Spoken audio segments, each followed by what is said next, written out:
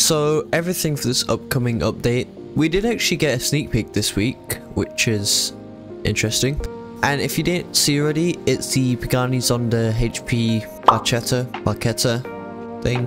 Anyway, so there's that. There is obviously the price for it, which might end up changing from 15.8 million to something else. Just, there is no set price yet. The 15.8 million tag was when it was in game. So don't believe anything you see or anyone telling you the price of it. Anyway, so we do have the new Turbo Circuit Race. Now I am 80% sure it's coming this week. And when it does get added, it will be a limited time race, like the off-road one. There are a few games from Voldex with either Turbo Race or something related to that. But Made said he was testing it, the Turbo Race, or Turbo Circuit Race that is. So that's why I said 80% sure. Last thing is just this.